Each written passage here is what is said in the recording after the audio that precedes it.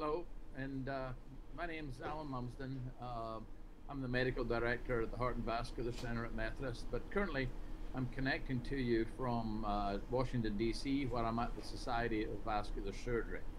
Uh, this is the, the second of the CV Live webcasts, but this is a special one.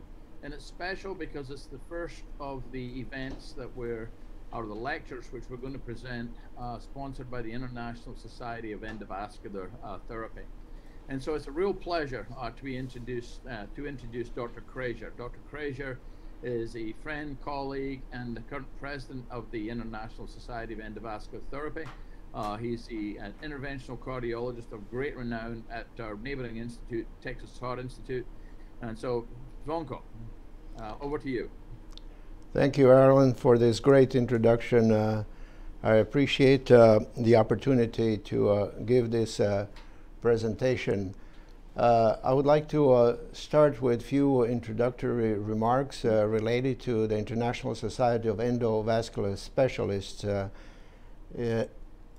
the International Society of Endovascular Specialists uh, is a global educational society dedicated in enhancing education and clinical expertise uh, in treatment of vascular disease using innovative technologies and interventional techniques to improve patient care throughout the world. I'm current president of the International Society of Endovascular Specialists, and Dr. Alan Lumsden is a president-elect and chairman of education of uh, this uh, society. International Society of Endovascular Specialists is a multidisciplinary society. This is the only society that embraces and welcomes participation of all the specialists involved in the field of endovascular and vascular treatment of peripheral vascular disease. That includes vascular surgeons, cardiothoracic surgeons, cardiologists, radiologists, uh, and also industry. And our motto is think globally and act locally. One of our uh, premier uh, achievements was establishment of the Journal of Endovascular Therapy, JEVT, that was established in 1994. It is a peer-reviewed journal. Uh, it has outstanding editorial board, and uh, Dr. Alan Lumsden is co-chairman or co-editor uh, chief editor of this uh, uh, journal. It is one of the most read journals on endovascular treatment of um, a variety of vascular diseases. It has a very high impact rating factor and archives are online. We are very proud uh, that we had an opportunity to establish regional chapters of our society. The first one was Arab Gulf chapter that was established in Dubai in United Arab Emirates in 2015.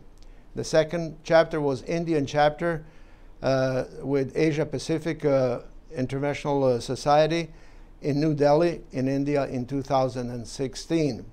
And then Polish chapter of the Vascular Society in Warsaw uh, in Poland in 2017 and then we established the Houston chapter of our society in 2017 and the Brazil chapter in Sao Paulo at CICE, very prominent uh, meeting, uh, the largest meeting in South America was established in April of 2018.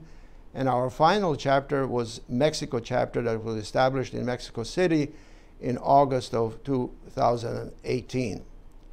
Uh, here's a um, presentation of um, an establishment of the chapter, uh, ISC chapter in Brazil in 2018. Hope you will enjoy our uh, program that is uh, being presented here.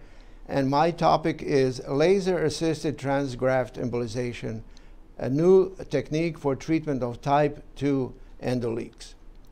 Here are my um, disclosures uh, that are not related to uh, this particular topic. One of the major concerns and issues with the transarterial embolization of type 2 endoleaks, which is the most common approach and treatment for type 2 endoleak, is that this technology is not very effective. And here is a particular example. On the left-hand side, we can uh, see uh, a patient that had an EVAR procedure and uh, no evidence of endoleak. At six month follow up, we can see that the patient develops a type 2 endoleak from communication between the superior mesenteric and inferior mesenteric artery, which was at that time successfully coil embolized. And we can see after coils that there was no longer type 2 endoleak. The problem with this particular patient is that the type 2 endoleak kept reoccurring and the aneurysm continued to enlarge. And he underwent four different coil embolization procedures to address this problem, and the problem still persisted. So obviously, this approach is less than optimal. So one very important thing about type 2 endoleak, that size of the nidus or endoleak is one of the major predictors of persistent type 2 endoleak. The larger the endoleak, the higher the risk of persistence of this particular type of endoleak. There is a simple type with a very small cavity that has one uh, ingress and egress vessel, so it's a single vessel uh, endoleak that very frequently closes spontaneously. This is very similar to formation of a pseudoaneurysm. And then there is a so-called complex type of endoleak where you have multiple egress and egress vessels. And it, this particular type of endoleak behaves like AV malformation and very frequently persists and very frequently offers suboptimal results for, with interventional procedures. Now, another particular concern and issue is when we have anterior endoleak that cannot be reached easily from uh, the arterial approach or from the anterior approach or from the posterior approach because the endoleak uh, is in such position that it will be very difficult to access it. So how do you treat this type of a complex uh, anatomy?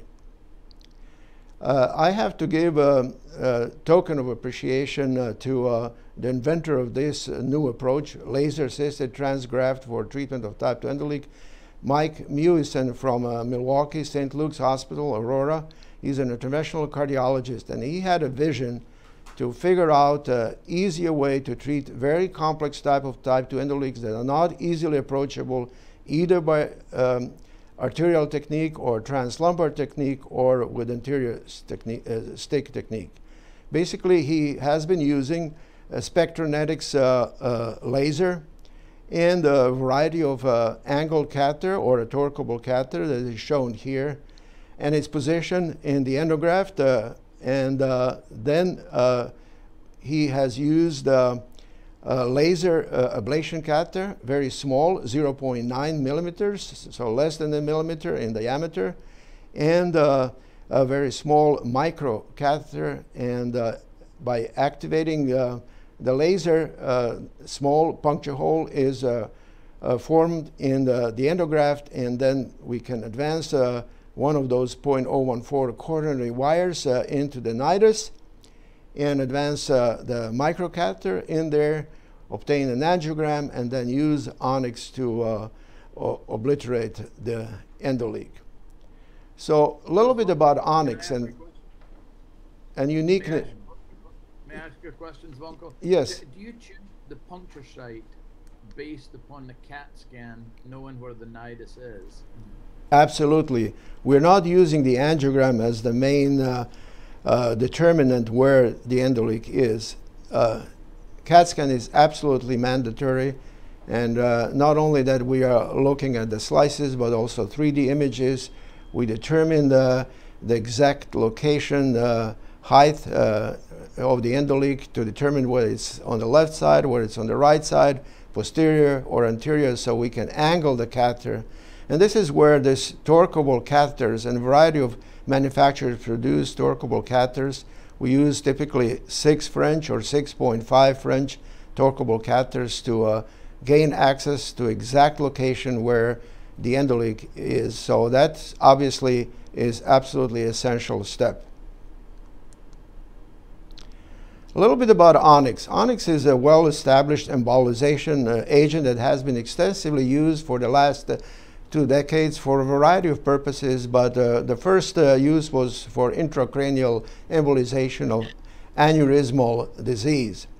The uniqueness of this uh, particular material is that when it uh, is in contact with blood, uh, you can achieve instant solidification of this material.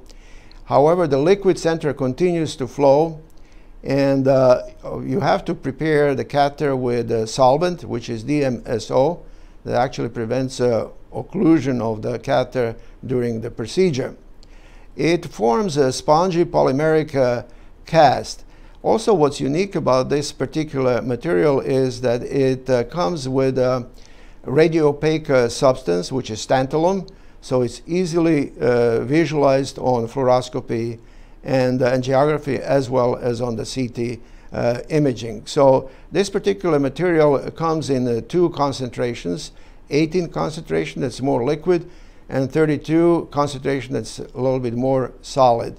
And the operator needs to choose whether to use 18 or 32 depending on the extent of the endoleak and amount of flow that occurs in the endoleak.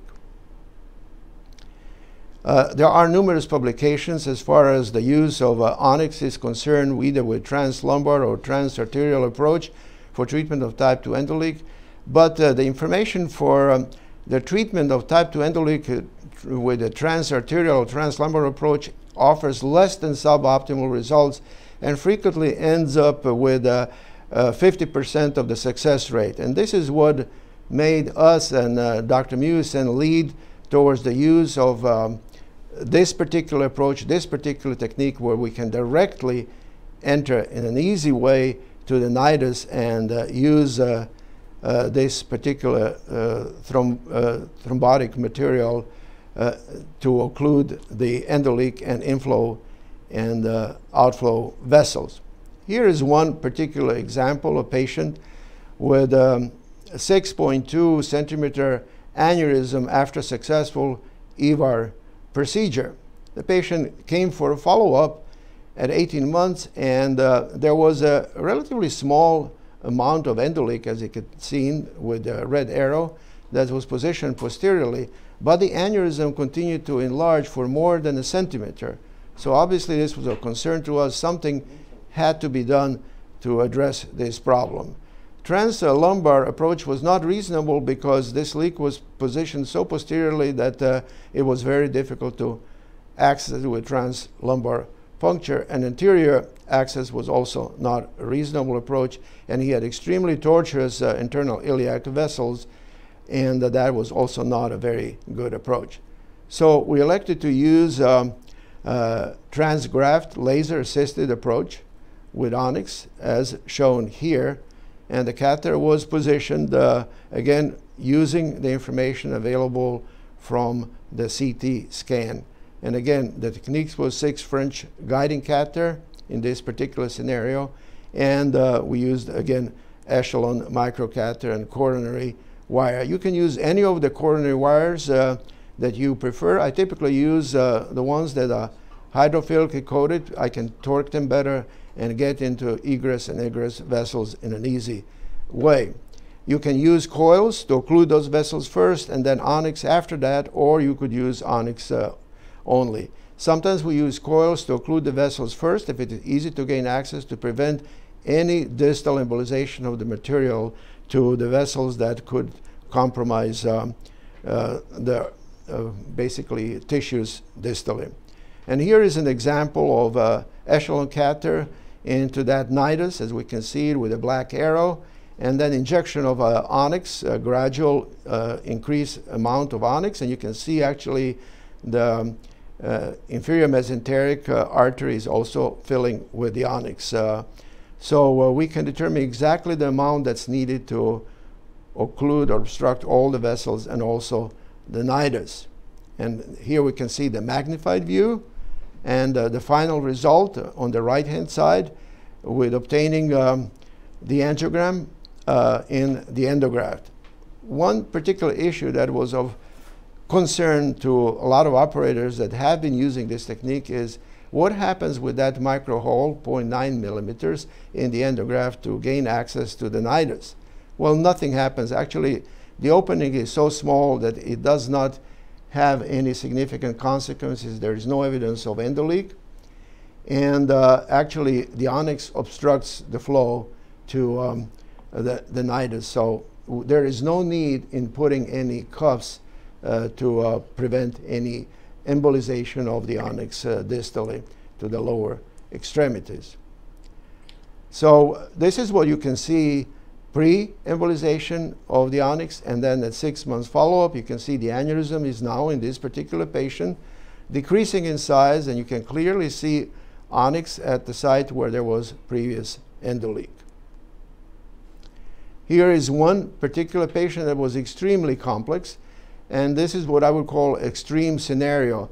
Not only that this patient had a multiple type 2 endoleaks and very aggressive embolization elsewhere by multiple coils that you can see here, but also patient had a chimneys that you can see to four different vessels and had type 1A endoleak that that particular operator didn't know how to resolve. So we used the onyx in this particular scenario to inject the onyx in uh, the distal part of uh, type 2 endoleak and gradually build it up all the way to the origin of um, the left renal artery graft and with excellent results. The information uh, from the publication by Mark Mewis and myself was uh, published in JVIR in 2017 with our preliminary uh, experience and also explaining and describing this technique. Uh, our results in combination with uh, Dr. Mewissen's experiences from 2011 to 2017 in 32 patients showed technical success of 98%, which is obviously significantly higher than in previous publications with uh, different techniques such as translumbar or transarterial that have approximately 50% success rate. There were no major complications and 21 patients had a one-year CT with evidence of um, decrease or stable aortic aneurysm diameter in 86% of patients. Few patients needed secondary procedures, but most of the patients had a satisfactory results. Thank you very much for your attention. So, so Zvonko, before um, I show my presentation, do you ever fail to cross the the graft? Does it ever slide off and you, you don't actually perforate into the uh, aneurysm sac? So, uh, as I mentioned, you have to establish the exact location from the CT. That's number one. Number two is we have been using uh, torqueable catheters nowadays because sometimes if you use just, let's say, mammary catheter or RDC catheter, uh, it might not give you adequate support. But torqueable catheters will give you adequate support. This is particularly important when you have a endoleak very close or at the proximity of the iliac limbs that will basically distort the shape of a mammary catheter or any other uh, steep angulation catheter. So a torqueable catheter will allow you to do that. We only had I, I, never personally had a failure in maybe 40 cases, but uh, Dr. Mewissen reported only one failure to gain access among uh, 40 or 50 cases. And does it make a difference if you're trying to reform in the main body versus one of the limbs, or does it not really matter? It doesn't matter. Torqueable catheter can allow you to do that in the limb easily as well as um, in the main body and Onyx is compatible with all of the endografts? Is it something we need to worry about? Right. Onyx uh, has been used with all kind of endografts. We have not seen any problems uh, with um, any of the endografts that are commercially available at the present time. I mean, you showed a great case where it would track down IMA. Is that usually what you see, or you just fill in the, the endoleak cavity, or do you usually see branch vessels? We do. We frequently see lumbar vessels.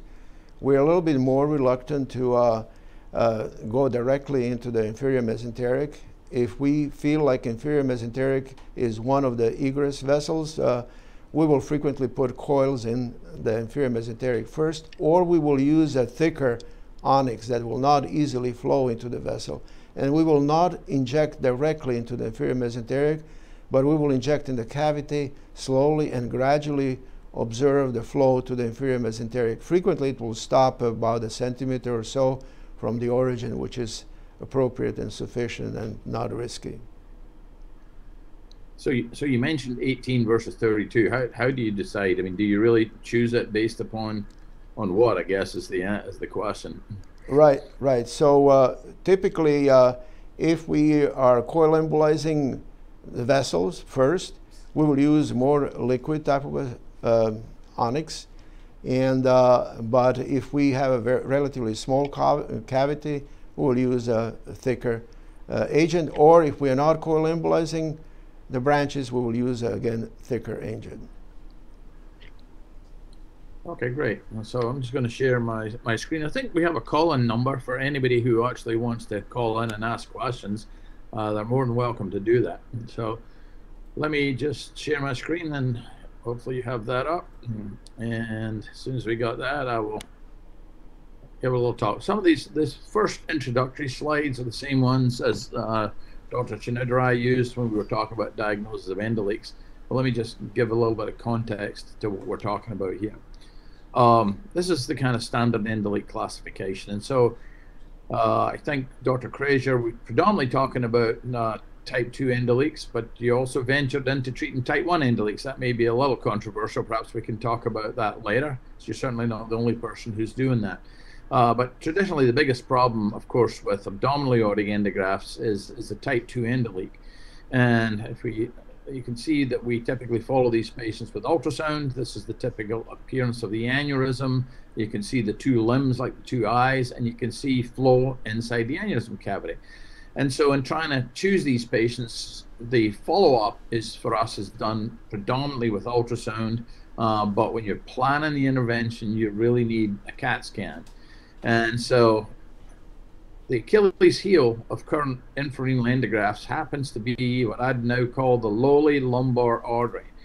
And when you open up an aneurysm sac, if you're doing this uh, through an open operation, then there's often a number of different lumbar arteries which are back bleeding. Remember, flow normally comes down into the aneurysm and away from the aorta through these lumbar arteries.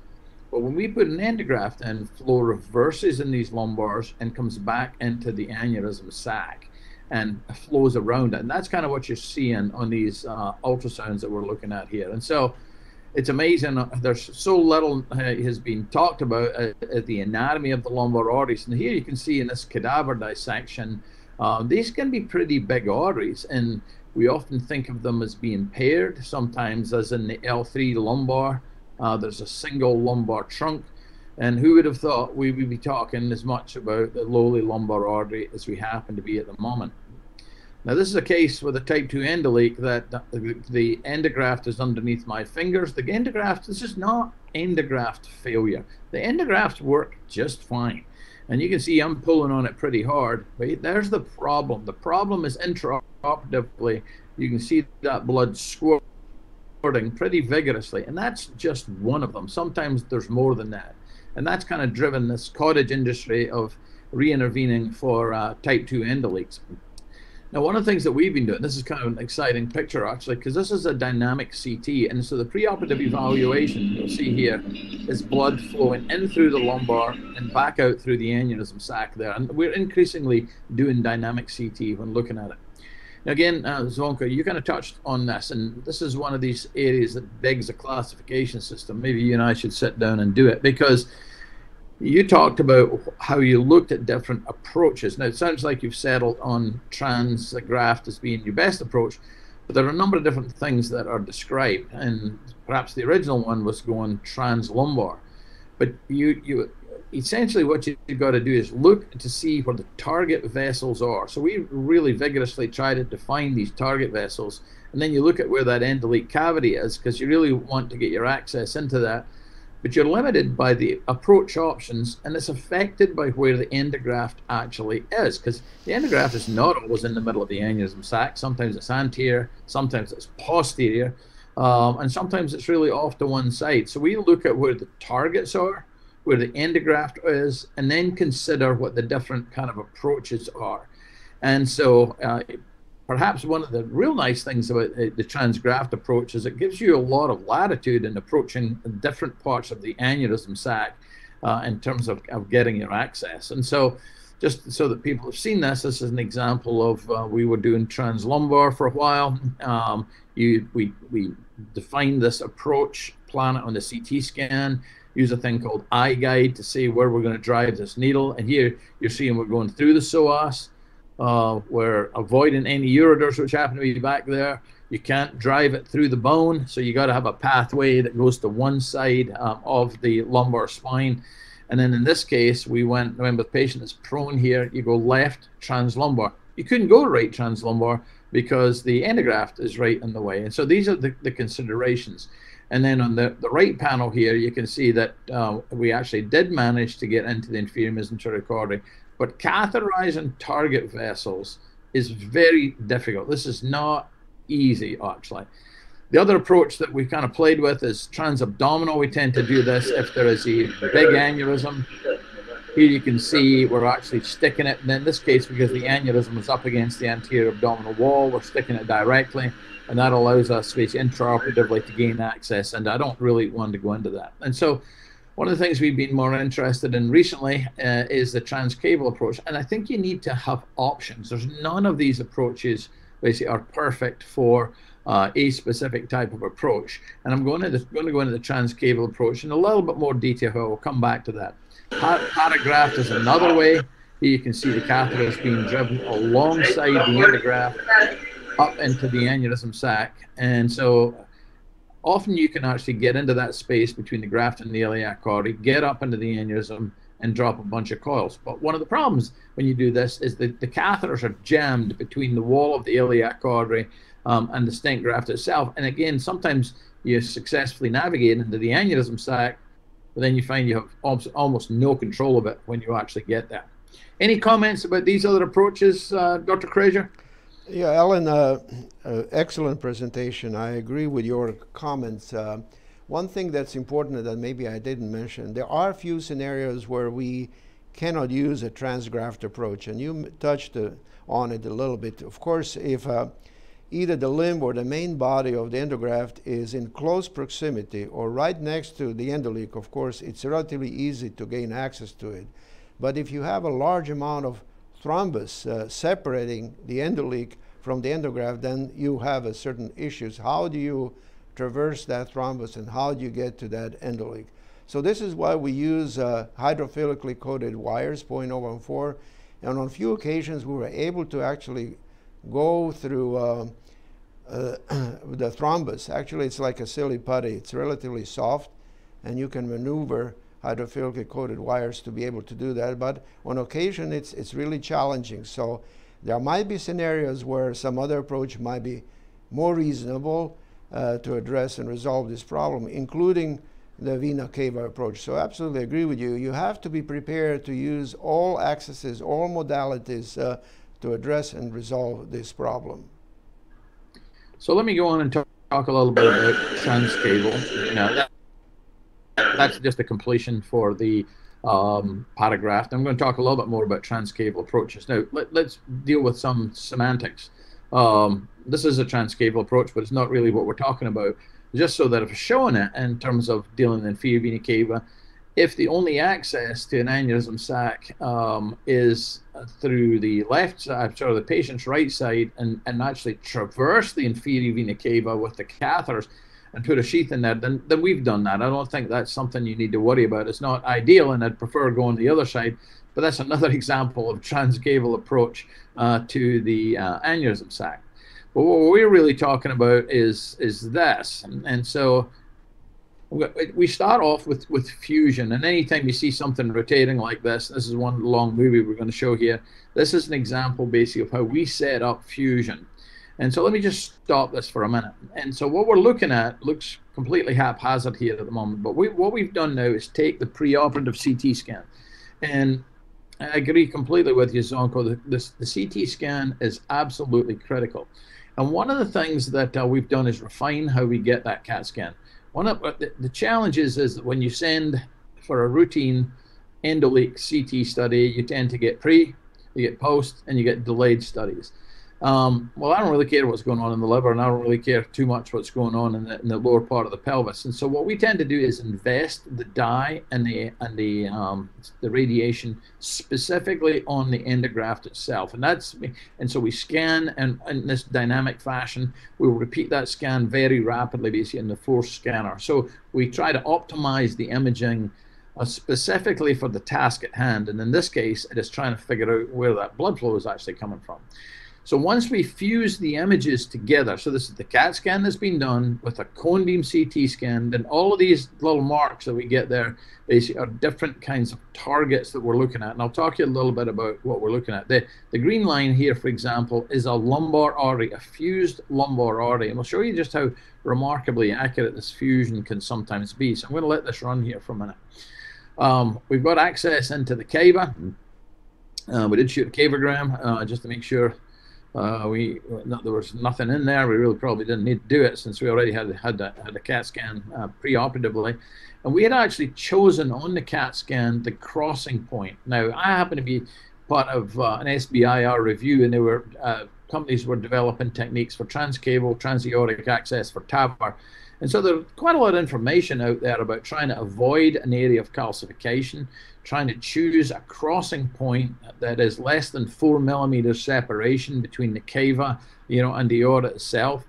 And so what we've done here, these squiggly lines represent the lumbar arteries and the endoleak cavity uh, that we're going to get access into.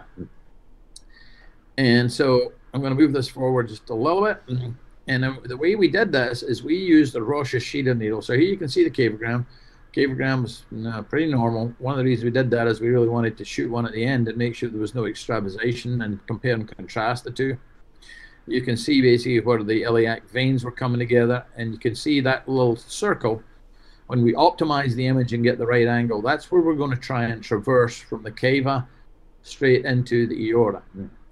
And so at this point in time, we changed this out for this. Uh, the the Rösch-Uchida needles is what we're going we're going to use to, to do this. And so let me just show you. This is from the Tips World. Um, it is an inner cannula and it has a needle which is shaped. The catheter, the sheath, and the the, the needle, the stylet is shaped. And what we're doing is putting this into position. Now, this doesn't go over a guide wire at this point. You're aligning the end of the delivery catheter with that green hole, and we look at it in multiple different directions.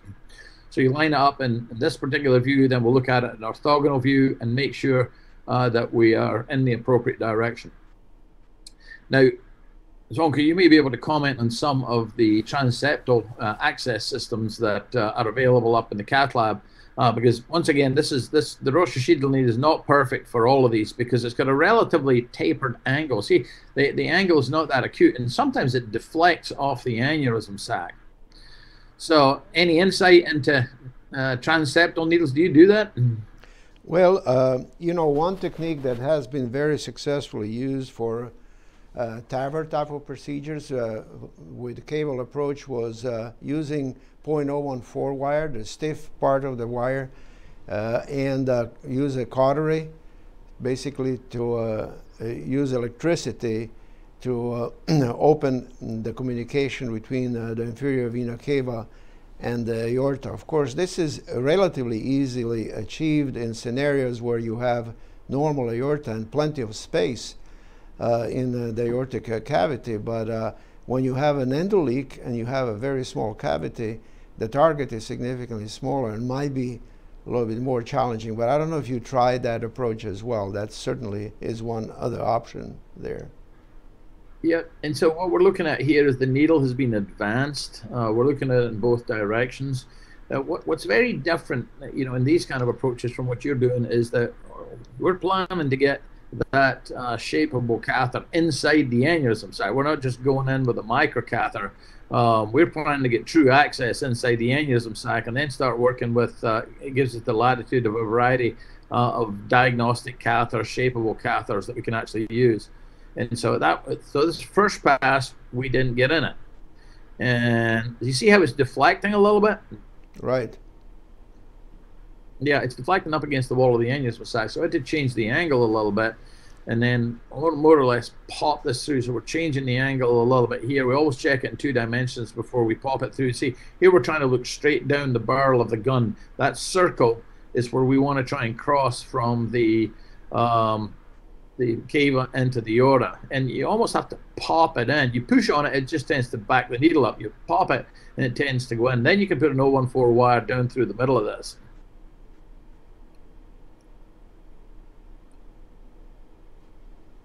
So at this point, we're pretty happy that we're inside the aneurysm sac.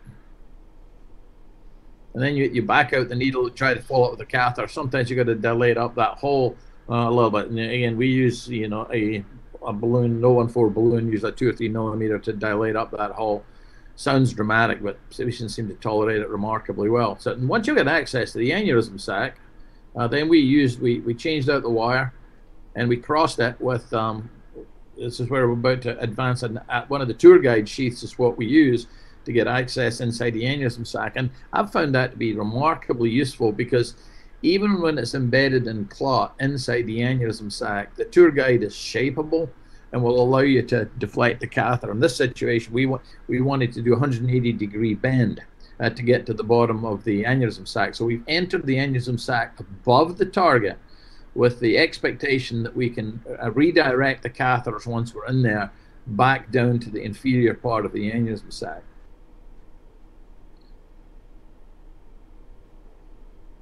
So we'll wind it forward just a little bit and let you see how we, we got in there. Here's the, the TourGuide coming up. That's the TourGuide's now in the aneurysm sac. And you'll see it flexes pretty well because it's clearly embedded in clot at that point based upon the CT and this has allowed us to direct it uh, towards the inferior end of the aneurysm. Now, as you can see, there's been previous, almost all of these spaces have had previous attempts at embolization, in this case with coils in the anterior part of the sac. Um, whenever you see these funky lines moving, it's because we're changing the angle of the image intensifier. It hasn't quite caught up yet.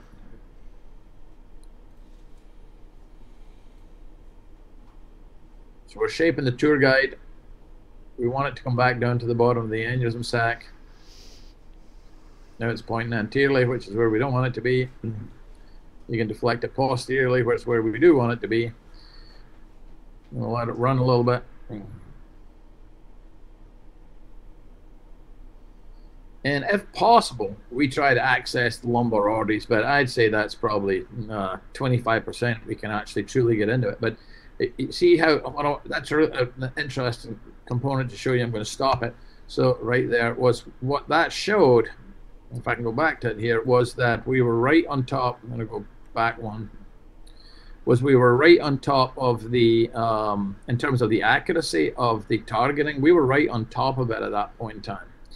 And so what that showed was the presence basically of that, uh, there's lumbar arteries. The fusion basically is very accurate. And once we've done that, um, we go ahead and embolize uh, that uh, the lumbar arteries uh, in their own right. And then we always scan them right at the end, basically, of the case. We actually get another cone beam CT just to confirm that we actually got the coils exactly where we want. But the fusion basically is remarkably effective at showing the presence basically of these lumbar arteries. Is it just a completion study showing that we're in the place where we wanted it to be? So I think that it's good to have all of these different options basically available. Um, comments or questions, Zvonko? I want to see if I can pull. Uh, I want to show that part of that one more time uh, while you're talking about it, if yeah. I can. Alan, very elegant uh, way to show uh, the benefits of fusion imaging and this particular yeah. approach in complex anatomy where maybe the other options are not reasonable. So I think it's yep. a it's a great educational tool what uh, what you have just shown here, and I have to congratulate you on being able to use all the technology that is currently available to address complex uh, anatomy. I think it was a very impressive uh, presentation of this particular access and uh, uh, information. Maybe uh, a few very basic comments on type 2 endoleaks that uh, everybody should know and would like to know. Uh, you know, there's a general comments uh, and understanding that type 2 endoleaks are benign. yes, they're benign in, in a lot of instances, but you do have uh, occasionally scenarios where the aneurysm enlarges just because of the presence of relatively small endoleak. And this is particularly of great concern in large aneurysms that are seven or eight centimeters in diameter. We, we know that the aortic wall gets deconditioned and it's much easier for it to rupture. So there are concerns. You should be following those patients, and surveillance is extremely important. So uh, there has to come a time when the aneurysm enlarges, you have to type 2 endoleak, where you have to address this issue. What is your approach? When do you treat endoleaks? Do you treat them uh, at the time of the procedure? Uh, do you do preemptive treatment? Do you do a treatment uh, after one month follow-up if they're still present, or six months, or only when the aneurysm continues to enlarge? Yeah, so great point. Um, and you, as you know, there's been a whole lot of debate about what to do about these endoleaks. They, they are not benign. In fact, I've lost a patient who ruptured from a type 2 endoleak. Now, she was very elderly. We'd already made a decision not to intervene on her again. Um, but she came in, ruptured, and died. So it, they're not benign, uh, and people can succumb to them. So by and large, you know, if we see greater than about five millimeters growth, we will go ahead and intervene on that particular patient. And one of the problems is when you do an intervention on them is you you can't tell probably for another year to two years whether you've actually eh, successfully reduced the pressure in the sac, and so it drives a lot of the imaging that is required, and then a lot of the re-interventions. Now, I've become a little disillusioned about type 2 endoleaks because I've tried, you know, a variety of different approaches from that, and I'm still not entirely sure that we've got a handle on this. In fact, I know we've not got a handle on it. And so um, we have used much less in the way of onyx and endoleaks. We've used it a lot in AVMs, but we've really not used it as much as you have in endoleaks. And so I'm fascinated by your uh, kind of intermediate term data. You've got data up to about a year. Um, do you have anything beyond that? Do you think this is going to hold up to two years, and should we be switching over to Onyx versus uh, coils? Well, uh, so there are certain disadvantages of Onyx. Number one is that you have seen from the images, uh, Onyx is uh, such a dense material because of the tantalum powder that's in it that uh, it is difficult on a follow-up to see if you have any endoleak because you have this dense material that could be hiding an endoleak. So you have to be very careful in looking uh, pre-contrast, uh, contrast, and post-contrast images to assess it. And also, obviously, you have to look at the aneurysm diameter. So that's one of the drawbacks. The second drawback is that not everybody is familiar and feels comfortable in using onyx. There could be serious consequences such as embolization to uh, visceral vessels that could have catastrophic uh, outcomes or embolization distally through the graft if you're not careful. And I, I've seen that happen with some of the individuals that were novices in using this particular technology. So, so that, that is obviously of, of concern. As far as technique is concerned, it's very, very simple, I would say, very straightforward. And uh, that is not hard to learn. What's hard to learn is when to use it, how to use it, and how to use it safely. So, and again, it, it's not going to be panacea. I absolutely agree with you.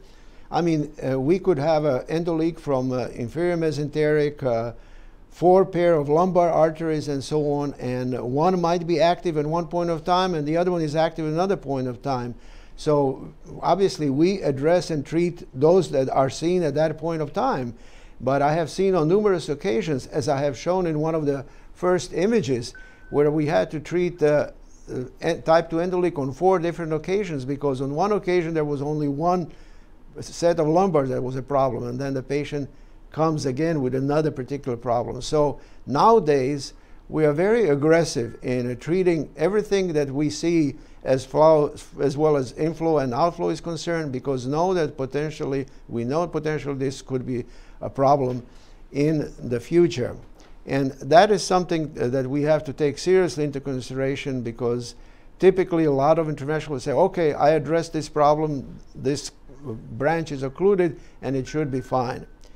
The predictors of endoleak are also very important. Number of vessels, How large those vessels are, this has been published and clearly established.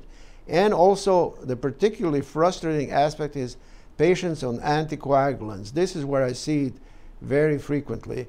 And uh, I have seen it also in patients, I don't know if you have similar experience with new malignancies.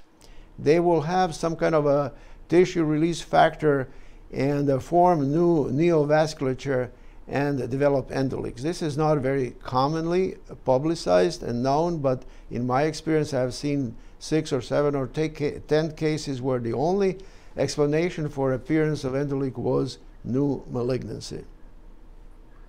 So our residents um, rotate on the neuroradiology service, and they came to me the other day and said, "You know, a lot of some of the spine surgeons have the neuroradiologists embolize the lumbar arteries before they do spine exposure."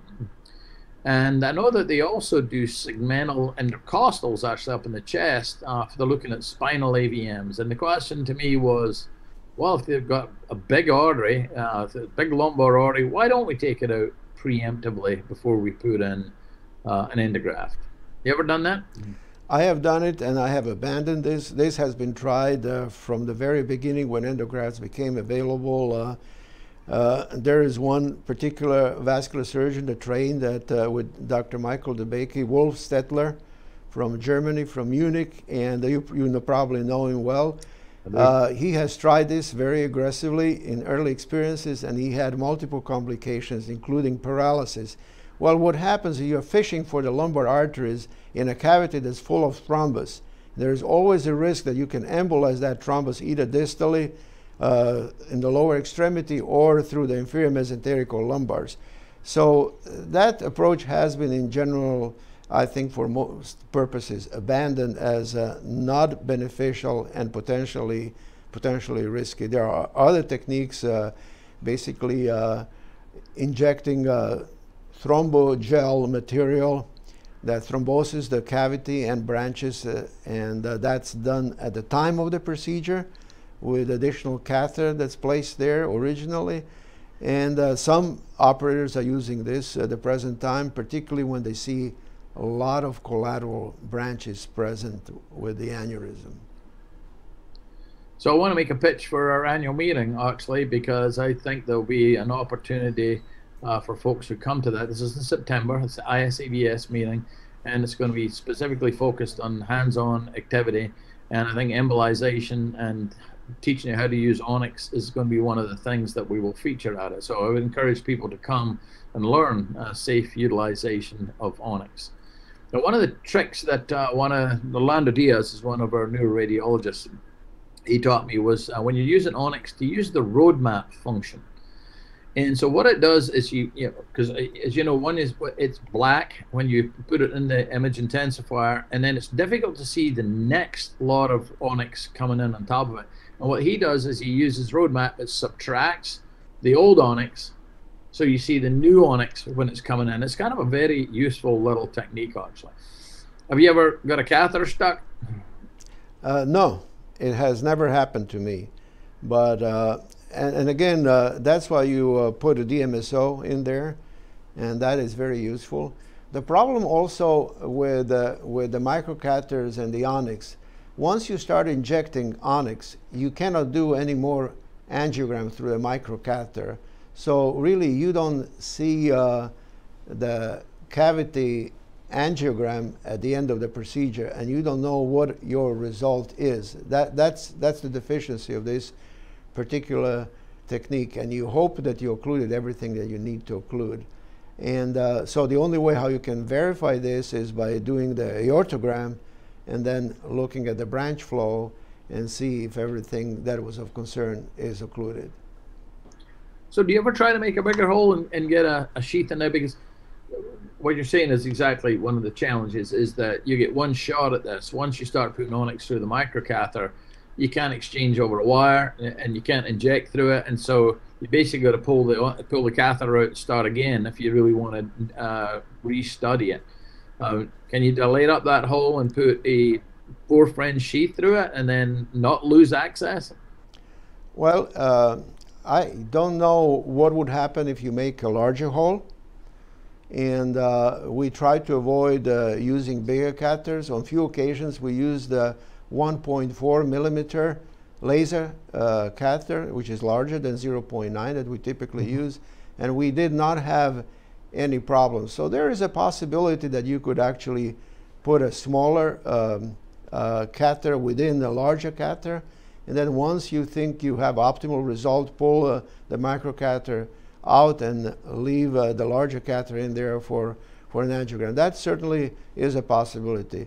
We have done uh, on several occasions uh, uh, multiple punctures where there are multiple endoleaks. One could be higher up the main body, and the other one is further down, closer to the limbs or at the limbs. And we have not seen any particular issues with smaller holes. But I do not know uh, what a larger hole would be like. As a matter of fact, I believe that when Mark Mewissen started and initiated with this technique, uh, he used a larger catheter and uh, he was of concern there could be an endoleak. So in his first couple of cases, he put a, a like a iliac limb there where the entry opening was, but then he decided to use a smaller catheter and he didn't have any leak and he decided this was probably a better approach, better technique. So there are several options obviously available. So the, the, the laser source is just the Spectranetics source that's um, used for laser lead extraction? Uh, correct. It's exactly the same device. So mm. most places probably have that sitting around then, actually. Absolutely. I'm convinced that basically every single hospital has it because uh, it's very, very commonly used. Now, one thing that I might add, and I think you mentioned this uh, very appropriately, that your neurointerventional radiologist, Orlando Diaz, uh, helped uh, and is helping in establishing this technique at your institution. I think one way how to learn it, how to do it well, is uh, work together with your interventional radiologist. All of them have proficiency in using onyx and microcatheters, and that's how I started with Dr. Michael Mawad and uh, Barry Toombs, uh, and uh, they have helped me a great deal in learning the technique uh, of using onyx and microcatheters for this particular application. Yes, fascinating. I, I gave a, a, talk here in uh, the SVS last night, and I talked about the other guy's toolkit, and I featured Orlando in it because I think of all the all the specialties, uh, neuroradiology's taught me more. Um, and, and getting out of your comfort zone and seeing what the tools are that are up in the cath lab, the neuroradiology space, I think is fundamentally important. I'll give you an example was um, I had a patient with a huge carotid body tumor, which I really didn't relish taking on surgically until it was embolized. And I got Orlando to come and um, and we were going to do transarterial embolization. And so and he shot the uh, internal carotid. Said, "Oh, you can't embolize this." It was shunning right through into the posterior circulation. He said, "You can't do it transarterial." He said, "Let's do it transcutaneous." Now, the teaching in my world was that you never stick a carotid body tumor for a biopsy or anything else because it is so vascular. He said, "No, no, no, no. Let's just you have a special butterfly because it's got to be DMSO and Onyx compatible." Um, he sticks about 20 of these needles into the patient's carotid body and embolizes them perfectly uh, transcutaneous. I had never heard of it, and yet there's quite a lot written about it in the neuroradiology lit- literature. So there's a lot of smart people in everyone's institution, and it's well worthwhile just dropping by and seeing what they're doing every now and again. That's that's a very good point. I didn't know that there was a butterfly needle, the DMSO, and uh, Onyx compatible, because uh, mm-hmm. I, I do. You the right one. I use uh, I do I do uh, a lot of venous work uh, with VenaSeal, and uh, I do it for varices as well. But um, none of the needles that I have used so far are onyx uh, or uh, you know that particular material compatible, so they clot right away. Yeah, we well we made that mistake when I tried it, but that, again the advantage of talking to as somebody who uses Onyx all the time, is they knew exactly what the compatibilities were, and it's it's a long day when they keep including them within seconds of you trying to use it. Right. So we're into the last five minutes. See any final comments you'd like to make, Dr. Krajcer? Well, uh, one thing that uh, we kind of touched upon uh, a little bit, but maybe we didn't elaborate it to the uh, detail. I think it's uh, extremely important, and this is what our society, the International Society of Endovascular Specialists, promote this camaraderie and friendship and interaction between different specialties. You are a vascular surgeon, I'm an interventional cardiologist, Orlando Diaz is interventional neuroradiologist.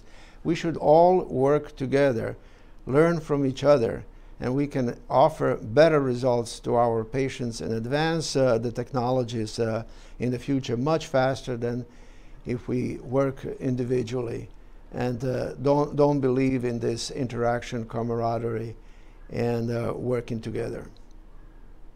Yeah, one of my best friends when I was at Emory was uh, Jeff Marshall, who you probably know. he was an interventional cardiologist, and uh, we decided to start a carotid stent program. We figured that they couldn't fire the chief of vascular surgery and the chief of cardiology at the VA at the same time. So there's a certain amount of safety in, in working together. Right. And we had a lot of fun doing it, and uh, bringing the expertise from both specialties, I think, benefited everybody. So, uh, just to give you one particular comment and personal experience as far as this uh, working together in different specialties, when I started with uh, carotid artery interventions, that was 1995. Uh, they would not allow me to do it at my institution on my own, so I invited Michael Mawad, who at that time was at Methodist Hospital, to come and assist me. And he, he gladly did it, and he was of great help. And we did the first procedure. Of course, that raised a, a lot of uh, discussion and arguments and uh, trouble for me because, uh, number one, it was communication between two specialties from two different institutions doing something that has not been done, so on. But eventually it was of benefit because that's how we established the program and developed the program of carotid artery interventions, carotid artery stenting. So I have to be very thankful to a neurointerventional radiologist in uh, helping me uh, develop this uh, technique at our institution. All right. Well, I think we're getting towards the end of the hour. Uh, I really appreciate you participating in this and um, look forward to doing this again. And we plan this to be the first of a series of lectures from the International Society of Endovascular Specialists, and uh, we're trying to move the didactic part of the meeting online uh, in this kind of format so that we can really focus on getting people on the different models, get their hands on the devices. Uh, really feel if you got to come to Houston, you're going to fly to Houston, you should be in Houston to learn how to do something with your hands, or for kind of this kind of to and fro that you get with the, with the faculty. So you're the president. I'll, I'll give you the final comments and then we'll sign off. Well, thank you, Alan, for the opportunity to participate in this program. And again, uh, you mentioned it previously. I would like to mention it again. Please join us at uh, the first International Society of Endovascular Specialists meeting here in Houston in September. I think it's going to be a unique uh, experience because this is hands-on type of a program that's very unique and has not been tried anywhere else. So uh, this is a unique opportunity for those that are eager to learn new techniques, new technologies with hands-on experience, and particularly get involved in, in the latest advances in vascular and endovascular medicine. Thank you very much for the opportunity to participate in this program. Thank you.